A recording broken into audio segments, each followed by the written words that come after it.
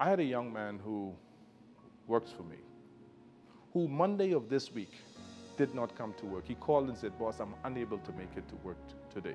Um, he said, I'm trying to get my children organized for school on the virtual platform.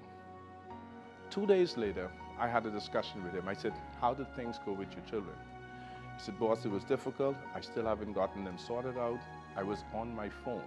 He's on the one platform that he can use, his cell phone, trying to get two children to carry out their education process.